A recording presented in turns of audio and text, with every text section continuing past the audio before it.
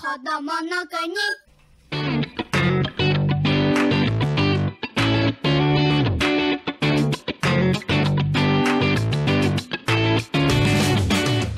はい。今日のスタッフがやってみたはこの動物キリンさんに挑戦してみたいと思います。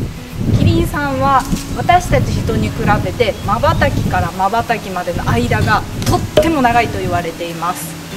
まあ草食動物なんで肉食動物に狙われないようにまばたきの回数を減らしてるとかでもゴミ入ったらどうなんのってなるんですがそのゴミさえもとっても長いまつげで塞いでると言われていますが私たち思ってはいたけどちゃんと試したことはなかったのでこれを機会に試してみました。